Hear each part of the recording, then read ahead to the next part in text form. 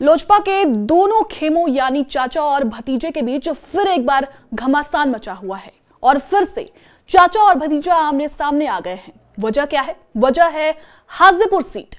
Hajipur seat से चुनाव लड़ने की होड़ लगी हुई है। दोनों इस सीट पर अपना अपना अधिकार और कर्तव्य गिनाकर इस पर अपनी अपनी दावेदारी पेश कर रहे हैं। पटना से सटे हाजीपुर सीट क्यों दोनों के नज़र में इतने अहमियत रखती है? और चिराग पासवान जमुई की सीट को छोड़कर अब हाजीपुर से चुनाव लड़ना आखिर क्यों चाहते हैं? इसी पर आज इस वीडियो में बात करेंगे। हाजीपुर सीट को लेकर चिराग पासवान और पशुपति पारस आमने सामने क्यों हैं? उसकी खास वजह क्या? उसकी खास वजह स्वर्गीय रामविलास पासवान है। रामविलास पासवान हाजीपुर सीट को अपनी माँ मानते थे और इसके पीछे की वजह भी बहुत मज़बूत है।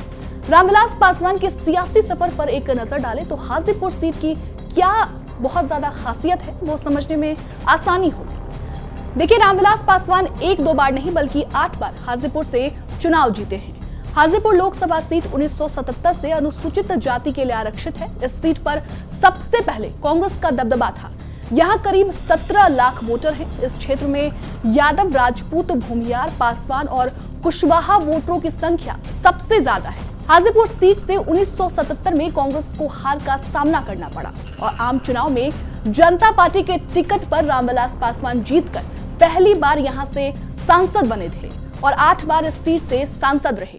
रामविलास पासवान 1977 से लेकर 2014 तक कई बार हाजीपुर से चुनाव जीते। हालाँकि दो बार उन्हें इस सीट पर हार का भी सामना करना पड़ा था। रामविलास पासवान पार्टी बदल बदल कर उम्मीदवार बनते रहे, लेकिन हाजीपुर ने उन्हें भरपूर आशीर्वाद दिया।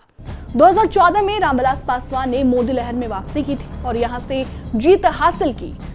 छह प्रधानमंत्री के कैबिनेट में मंत्री रह चुके रामविलास पासवान पाँच दशक तक बिहार के और देश की सियासत में छाए रहे। दो बार लोकसभा चुनाव में वो सबसे अधिक मतों से जीते। हाजीपुर ने रामविलास पासवान को ताबड़तोड़ आशीर्वाद देकर जिताया और इसके बदले में रामविलास पासवान ने भी हाजीपुर के विकास के लिए कई प्रयास भी किए।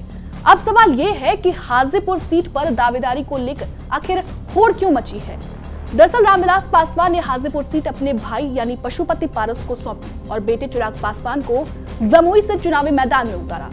अब जब उनके निधन के बाद चाचा और भतीजे के बीच रिश्ते में तलवार खींची जा चुकी है और लोजपा भी दो भागों में बट गया है तो चाचा और भतीजे दोनों ही इस सीट से अपनी अपनी दावेदारी पेश कर रहे हैं। और अगर इस सीट का इतिहास भी देखा जाए तो रामविलास पासवान की सियासी जड़ें यहीं से सबसे ज़्यादा मज़बूत रही है और इसका लाभ कहीं ना कहीं दोनों नेता लेना चाहते हैं।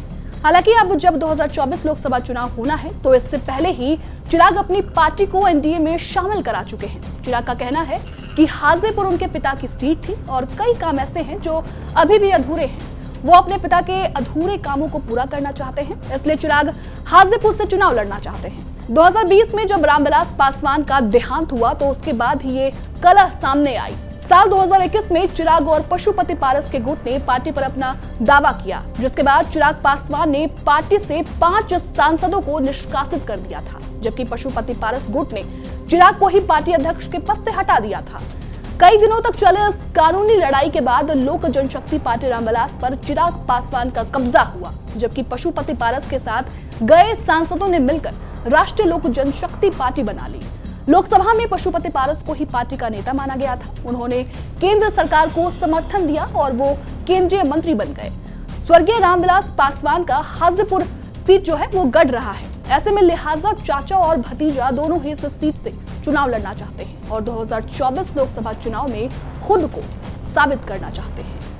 फ़िलहाल इस वीडियो में इतना ही। बिहार झारखंड से जुड़ी तमाम खबरों के लिए देखते रहें टीवी नाइन बिहार झारखंड। शुक्रिया।